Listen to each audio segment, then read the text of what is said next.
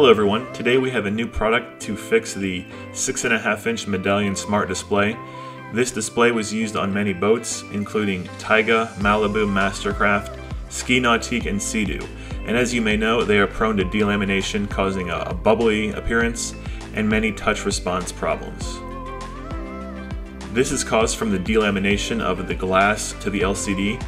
Over time and exposure to sunlight, it'll separate and peel away, and you can see that sticky glue there that causes all these problems.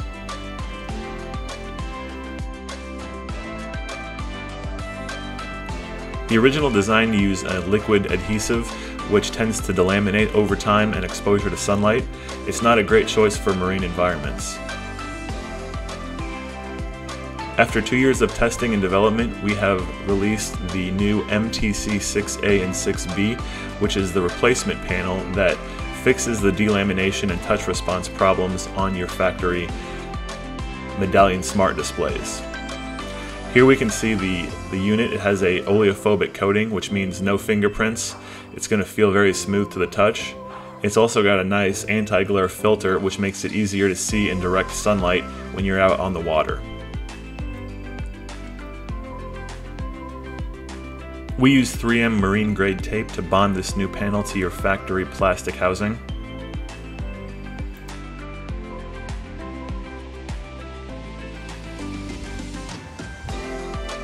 This project required a new custom digitizer panel that was made, as well as new LCD drivers, as you can see in the photos.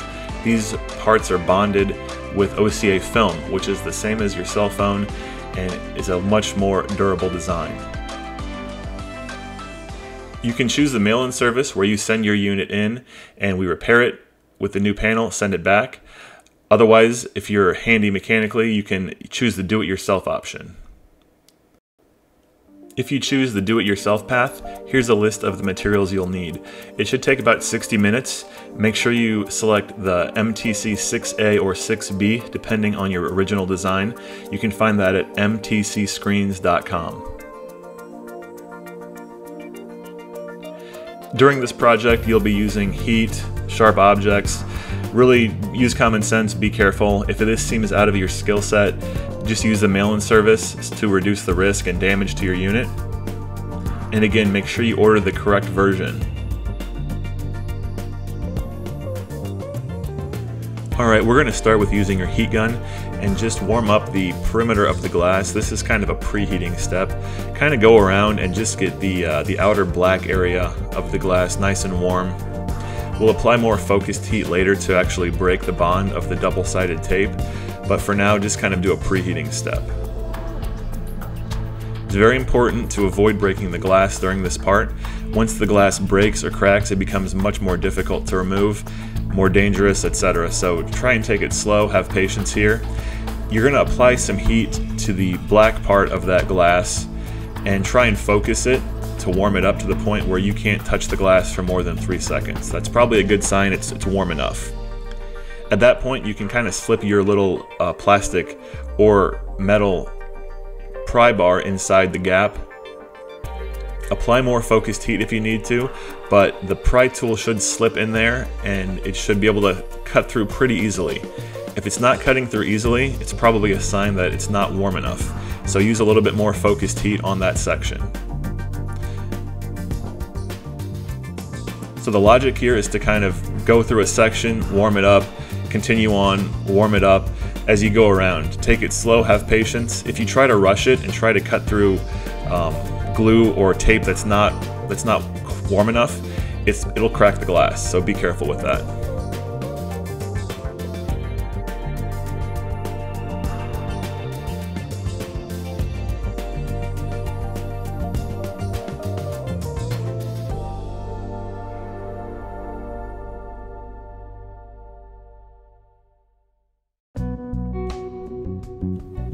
So here in this part, now it's the right side, focus more heat on that right edge, slip your pry tool between it and just keep going slow, heat it up and cut through just like before.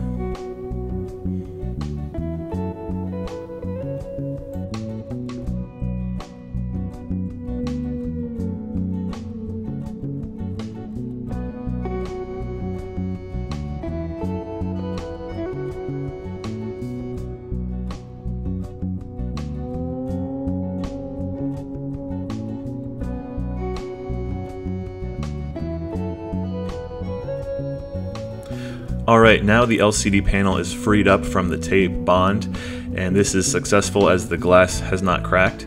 We can kind of peel it away slowly, don't go too far because there's a lot of connections. You can see the glue here that's all leaked out that causes the, uh, the touch response problems. So don't put too much tension on those wires. The first wire we're going to disconnect is the white driver plug. There's no lock, it just kind of is a friction fit into that connector. Just grab it and pull it away to release it.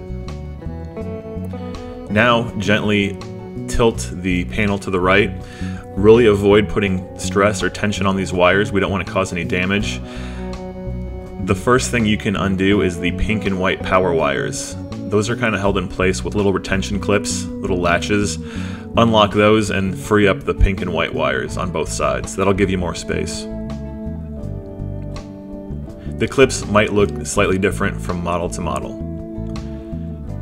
Now you can unlock the digitizer cable. This is a very delicate connector, we don't want to damage it, so here's an up close video of how it works. Unlock that connector and pull the ribbon cable out. It's a flat connector. Once that black collar is out, it's unlocked. When it's closed, it's locked. They're unlocked just like that. Here's the alternate version, the 6B. This is the only difference really is this connector, so you can unlock that. It's, it's similar, but just a little bit smaller, a little bit different. That's how the 6B connector works.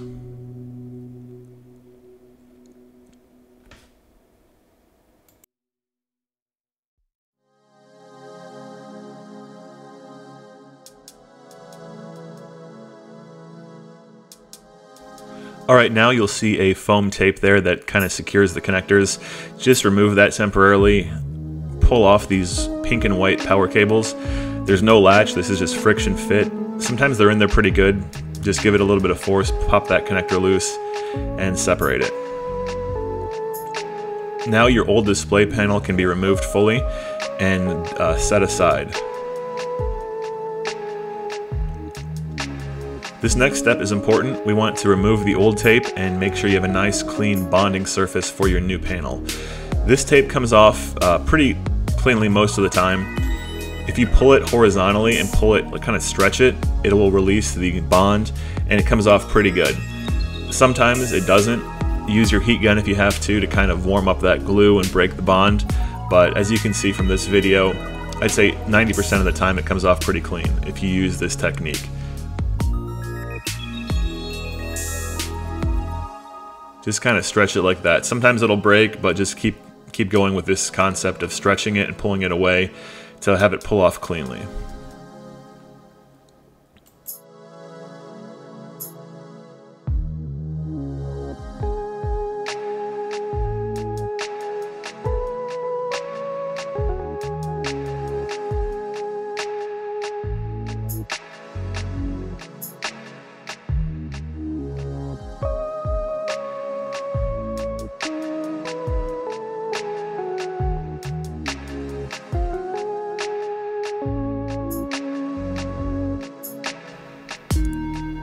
On this example, in this video here, you can see there was a little bit of glass breakage on the corner. If that happens, just kind of work around it. Uh, pull the, the glass pieces away carefully. Obviously, it's sharp glass. Don't touch it with um, too much pressure.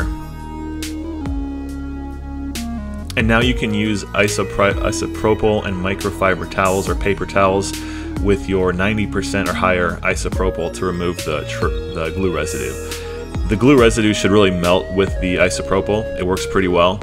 Just the idea is here is be very thorough. Don't stop until all the residue is removed. You need a pretty clean surface with no dust and no uh, remaining glue to get a good bond. And I should note that we only really need to remove the glue from the flat surface where the where the new panel is going to mount. Sometimes glue leaks down the, the, the vertical surface like you can see here. Just leave that alone. There's no need to mess with that. Nothing's going to stick to that.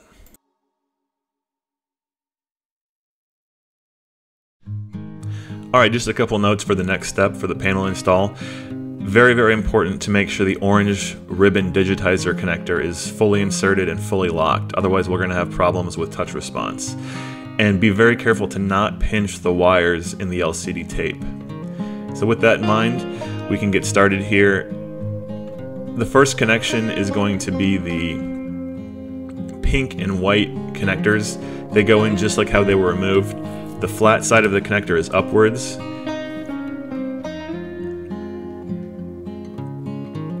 And it just kind of snaps or clicks right into place.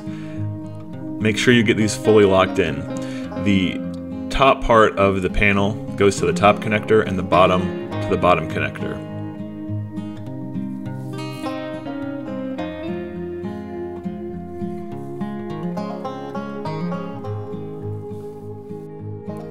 This bottom connector can be a little difficult to access, so you can sort of pre-bend those wires to, to help reach it better, and once you get it in the connector it should snap right into place when it's aligned.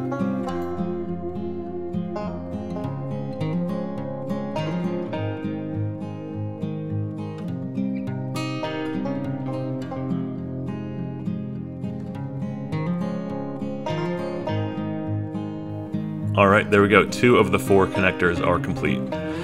Now tuck those pink and white wires back in their retention clips.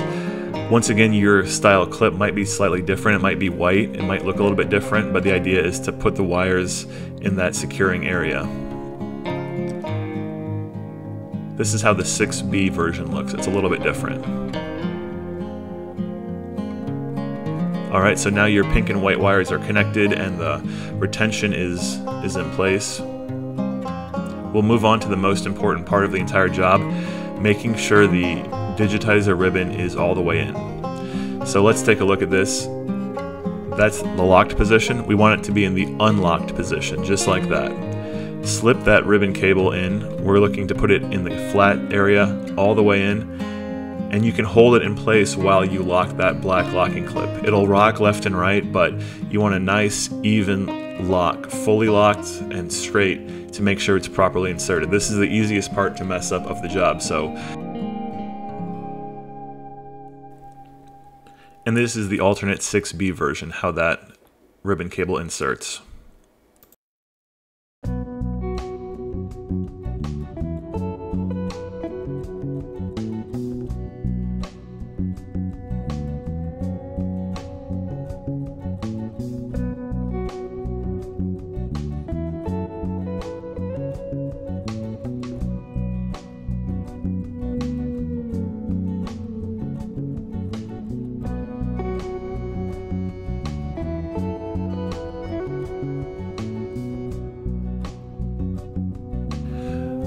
Alright, so now we want to align the right side of the new panel with the right side edge of the plastic housing. A couple notes here, don't pinch the digitizer ribbon cable. It's kind of in that same area, so tuck it in the, the plastic box if you have to. Just really try to avoid pinching it on that lip.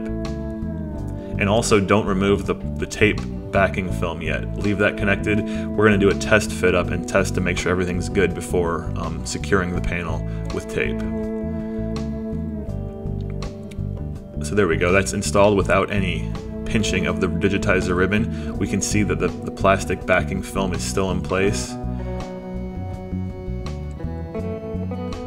So with the right side kind of sitting there, reach in, grab that white driver plug and snap that back into its connection. It kind of just pushes into place. There's no connector, just a friction fit. So just kind of push it until it stops. Make sure it's nice and even, but you don't need to push too hard.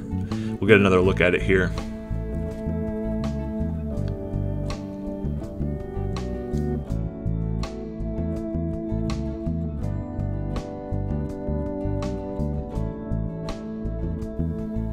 Alright, so again, now your LCD panel is sitting in the plastic tray. The backing film is still intact, so we're just going to kind of temporarily secure that panel to your plastic housing with some blue painter's tape or some scotch tape or similar, just so it doesn't fall out during your test. The reason why we're doing this here is because in case one of the connectors was incorrectly done or missed, it's going to be much harder to uh, fix that if it was secured with tape, with the double-sided permanent tape. So this is a temporary fit up. Take the unit and put it in your boat, test your function to make sure everything's responding good like it should be, and if that's all well, pull the unit out, remove your temporary tape, Gently lift up on your LCD panel. It doesn't need to go more than a quarter inch, half an inch above the surface with one hand, kind of balance it like that. You can reach in, grab those little blue tabs, and expose the tape while it's still floating above the, the panel. Right side, top, bottom, and then the left side. So now the tape's exposed. As soon as it touches the plastic, it's going to be very sticky. Align your right edge. Again, avoid that digitizer wire. Don't pinch it.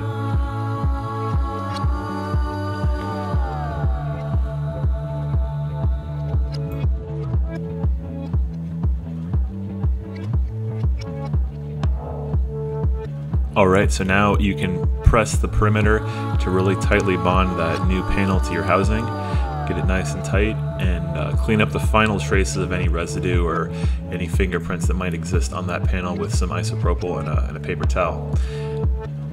And that is everything. You should be all set. Your panel's tested, installed, ready to go.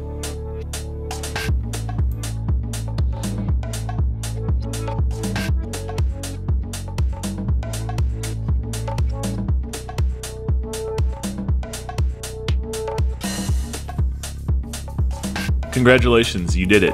You can support this cause by posting on Facebook groups, telling your friends at the marina, forums that there is now a permanent low cost solution to the common marine touch control screen issues.